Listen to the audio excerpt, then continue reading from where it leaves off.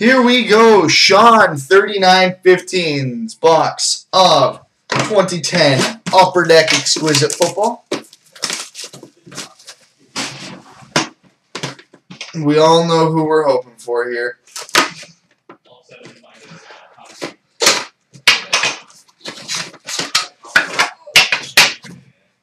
There we go. Everyone wants to see this. OJ Simpson, yeah, that's what we're looking for. I know that's Oh, that's a pretty start. And we start with the Rare Materials dual helmet, patch, and tag. Just nasty swatches.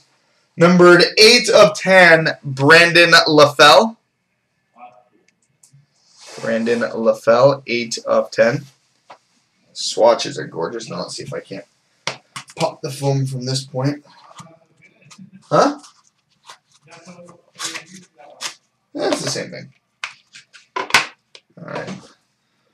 So, numbered uh, 12 of 35, base of Chad Johnson. Chad Johnson. We've got a base card number 28 out of 35 of Ricky Williams. I think that's Ocho. Looks like Ocho. Oh, that's pretty. We've got a signature nameplate, patch and autograph, number three of five of Ronnie Brown. Three of five, Ronnie Brown.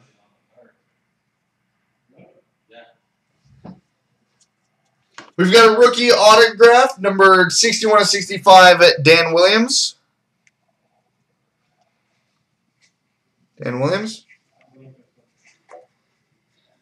We've got a two-color rookie patch auto, number 50 of 75, Emmanuel Sanders. Emmanuel Sanders, rookie patch auto, number 75. Coming from the back, we got a premium patch, numbered 4 of 35, of Tony Romo. Tony Romo patch. Number 35. And the booklet. Oh. Okay, then. I hear this fellow was all right. Number 4 of 20, triple jersey and autograph autobiography, Barry Sanders. That'll do. That'll do. five star, five star.